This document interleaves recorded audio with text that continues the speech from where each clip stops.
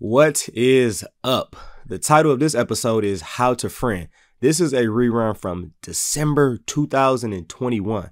And I remember this being an episode that people enjoy because a lot of times at the end of the year, we're reevaluating friendships, relationships, we're checking ourselves like, man, was I was I a good friend? And there's definitely a special responsibility we have as Christians on being a, a friend. So this is a great episode for that. And if you are reevaluating relationships, reevaluating, looking at your friendships, another good episode that you might want to check out is We're Friends, right? I'm gonna try to have that link dropped in the dis- in the description as well. So check out this episode and hope you enjoy. Nope. We don't need to speed up the process. We don't need to nuke this. You know why? Because this is the non-microwave truth. CL Whiteside is in the building, and you are listening to the Non Microwave Truth. Are you glad Christmas is over? Are you already looking forward to the new year? Are you one of those New Year resolution people? Or are you sad that Christmas is over? Our first world problem today think about Jesus. Think about Jesus. I got one more Christmas question since it still is the month of December. Do you think our brother, our Lord and Savior Jesus, will be the type to buy the 12 disciples a gift?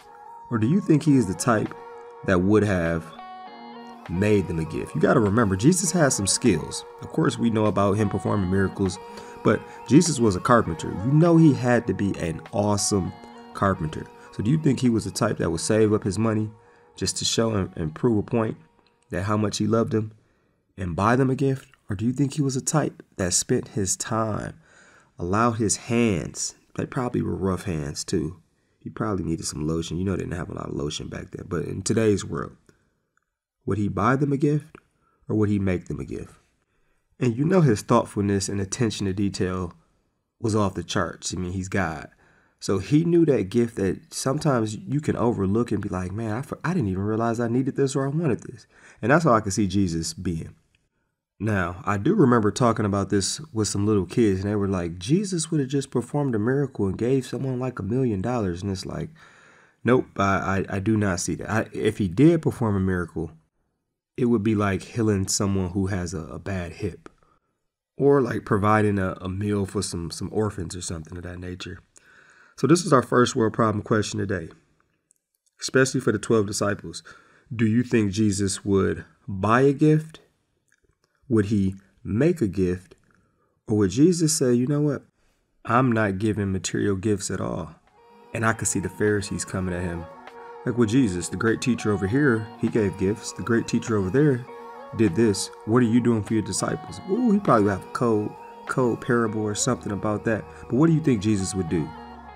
Buy the gift, make the gift, or no gift at all? Love to hear from you on Instagram or Twitter. Remember, my handle is championlife23. Let me know what you're thinking. And this is our first world problem. It is dinner time.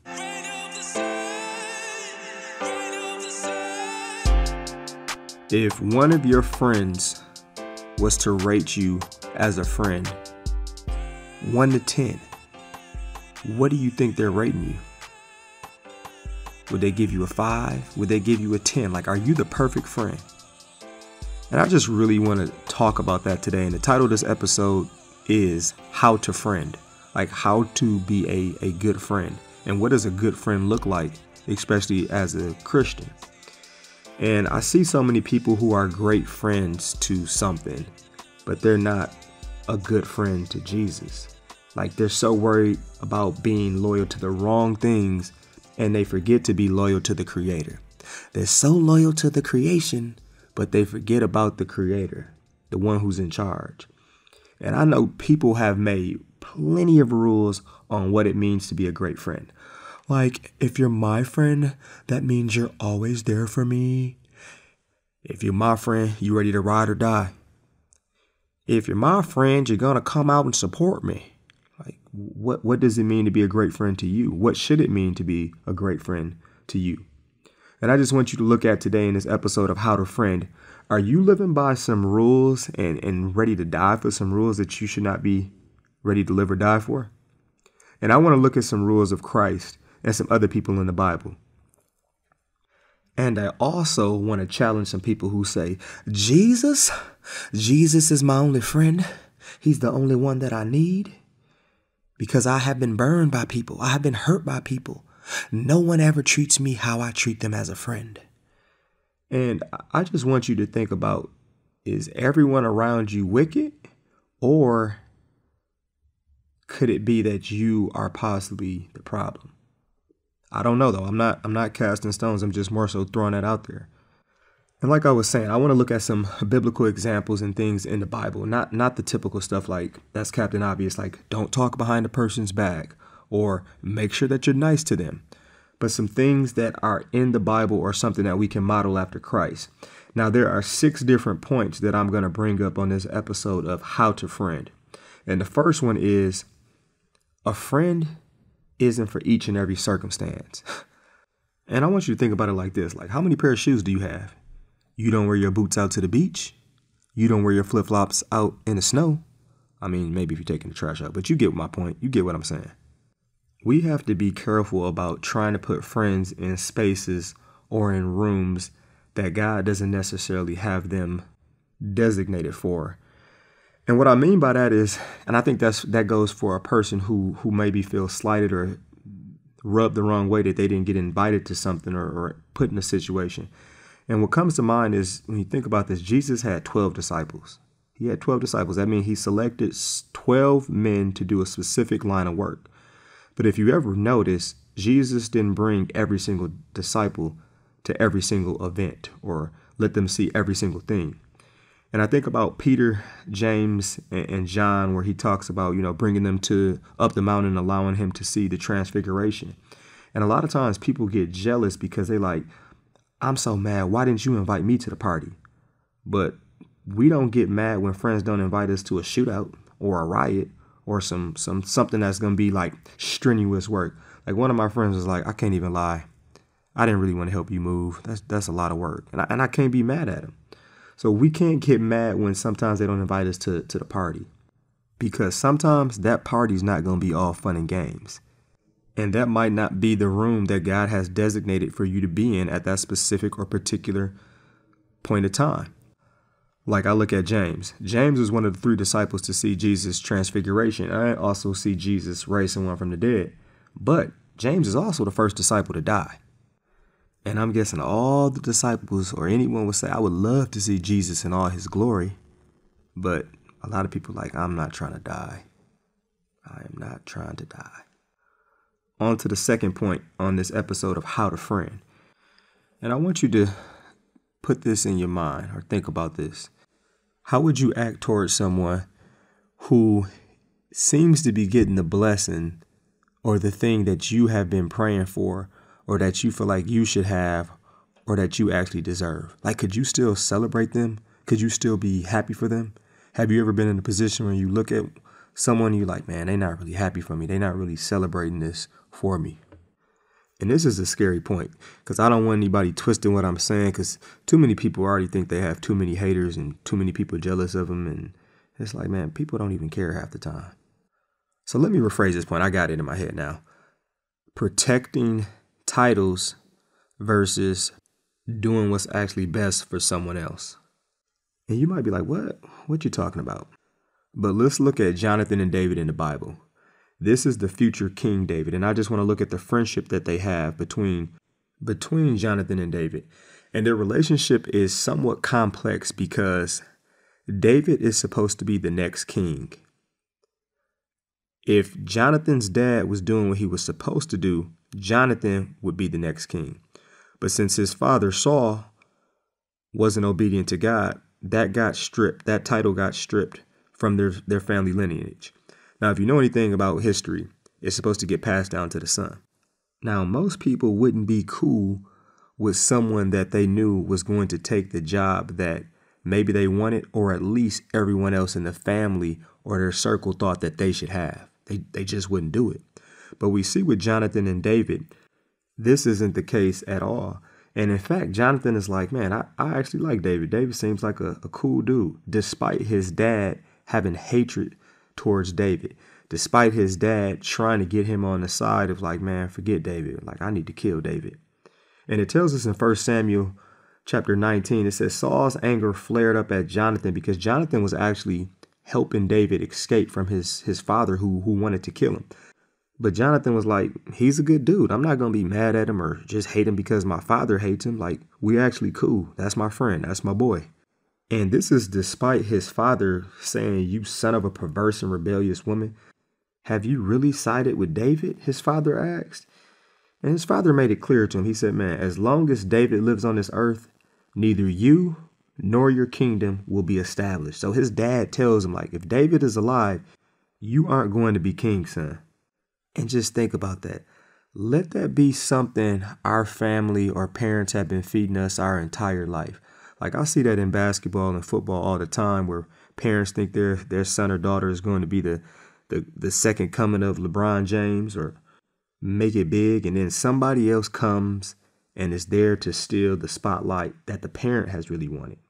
And more than not, that messes up the child's relationship and makes the child jealous or envious and not be able to be friends with that person.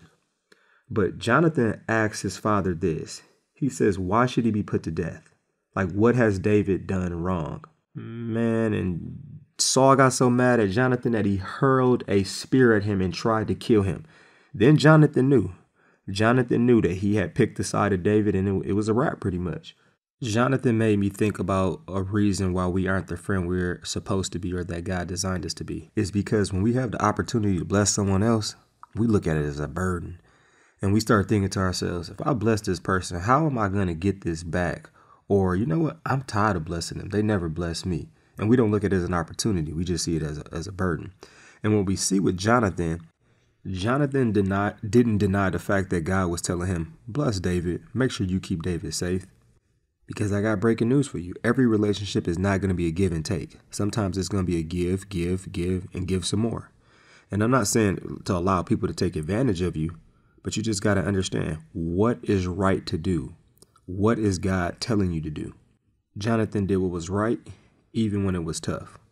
And that's a situation where it's so, it would have been so easy for him to support what was family, what was easy. But instead, he supported what was actually right. He's like, I don't have a reason to kill him. I don't have a reason to hate on him. So I'm not going to do it. This is actually my friend. So he said, forget the title and forget what everyone has told me I'm supposed to be.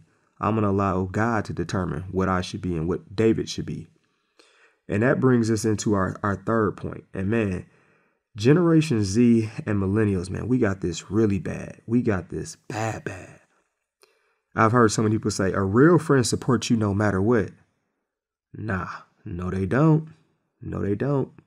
And if you don't support them in the way that they want to be supported, they will flip it on you and be like, you don't like me or you don't want what's best for me. And I'm talking about when someone is going against God's word. And on this episode of How to Friend, I'm going to make it very, very clear.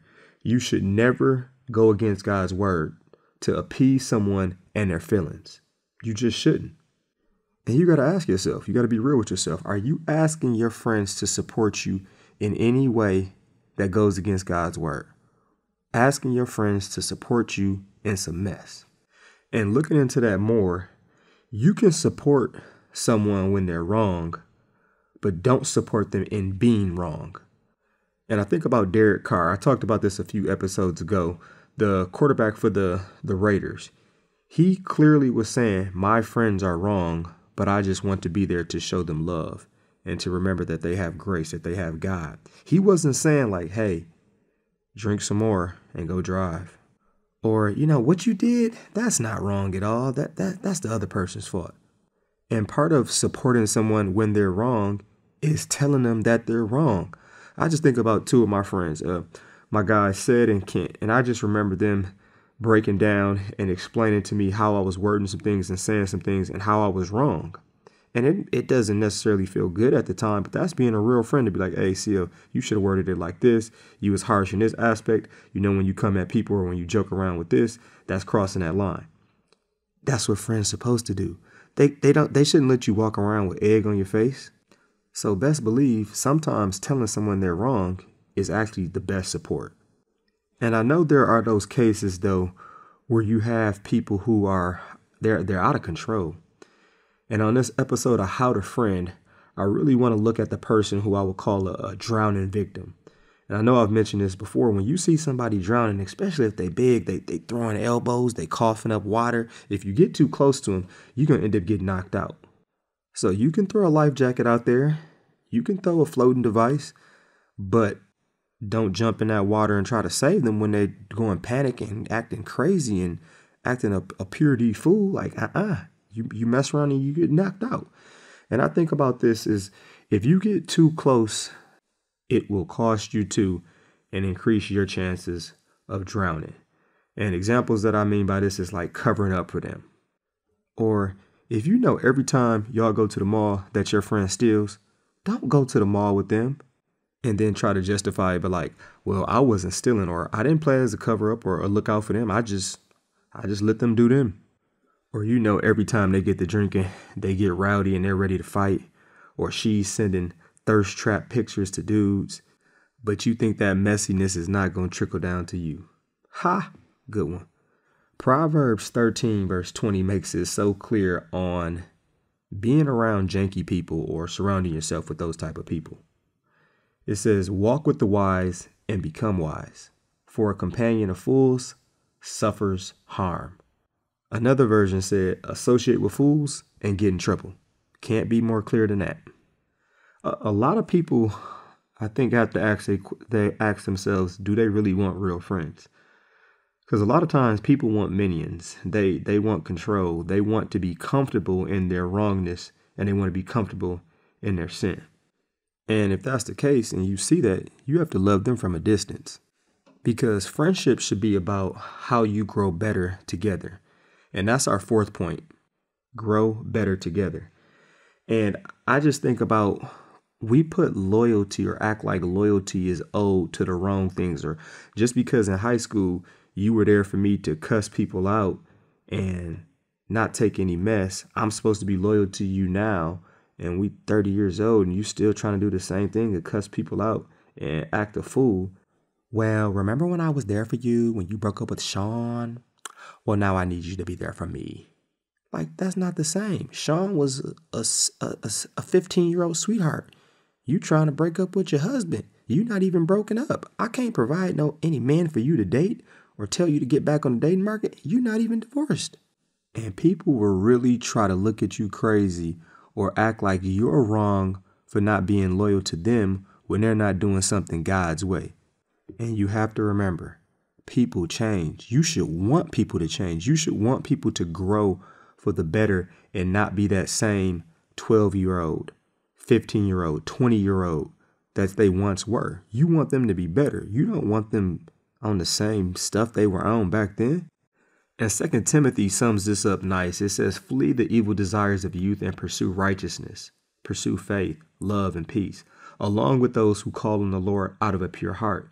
Don't have anything to do with foolish and stupid arguments because you know they produce quarrels. Now I'm going to jump a couple passages. It finishes up and says, Opponents must be gently instructed in the hope that God will grant them repentance, leading them to the knowledge of the truth, and that they will come to their senses and escape from the trap of the devil, who has taken them captive to do his will. And that's one of the reasons that I, I thank God for my wife is just the different perspective that she provides, her desire for us to grow together. And I guess I should point out or say her intentionality and focus on us growing together. Because if you're not intentional and you're not focused on it, sometimes it just naturally happens, and those are the friendships we usually love. But at times, you have to be intentional and focus on it, especially with a relationship like like that. And this brings us to our, our fifth point on how to friend. You have to be willing and you have to only want to listen and hear godly advice. And if you don't fear and you don't respect the Lord, you can't give godly advice in a lot of cases. Like it's hard to be a good friend if you aren't right with God. And it's even harder to accept and to want to hear godly advice and good counsel if you're not right with God. Like that's the last thing our sinful flesh wants to hear. But that's being a good friend. Stop telling people what they want to hear. Tell them what God says. And I thought about this the other day that I could give married men, married men, good counsel even when I was single or when I was single. And most people would say never take advice or take counsel from somebody who's not married or in the exact same position as you. But I would never tell them what I felt or what I thought they should do in that moment based off my experiences because I didn't have that experience, obviously. What I would do is I would tell them what God's word said because I knew what God's word told them to do or was saying for them to do. And I'm not talking about like prophesying or anything. I'm talking about how should I love? How should I respond in this situation? Well, God says to love by doing this. This is how you should do it. And that's the question you should always ask yourself when you are giving counsel or when you're receiving counsel. Does this match up with God's word? And the last point that I want to bring up on this episode of How to Friend is that you need to allow God to be your best friend, your, your best, best, your BFF. And the reason being is it's so hard to love someone else when you don't love yourself, how you were created and how you were made to be loved. Like, why do most people talk about other people? It's because it, it boosts themselves up, it covers up our, our own insecurities. People don't love themselves though. And that's because they don't believe, they don't value, they don't appreciate or understand who loves them and how much God loves them. Just think about this. God chose to be a friend to us despite all of our flaws. He chose to be loyal to us, knowing we couldn't match His love or His loyalty. But one thing He did not do is force us to be His friend. And that's a lesson to learn. God loves us. Jesus died for us. He's literally always there for us. He wants us more than anything to get to know Him. He's the absolute perfect friend. But yet, some will reject his friendship. And it's not because it's something or someone better out there, but because they've made friends with their sinful flesh. They've made friends with this world. They've made friends with the devil. And those three amigos, they are some liars. They are haters. They never want you to have the greatest relationship ever, which is with Christ. And this is the non microwave truth. And I have one challenge for you today. Reach out to a friend and just let them know that you are happy or excited or you are praying for God to continue to bless them and for them to continue to grow. And, and make sure you pray for them if you say you're going to pray for them. Like, do it right then and there because if you like me, you'll probably forget. Thanks for joining me on this episode today of How to Friend. If you liked it or love it, share it with a friend. Peace, punch, Captain Crunch. Say no to drugs and yes to Jesus. I'm out.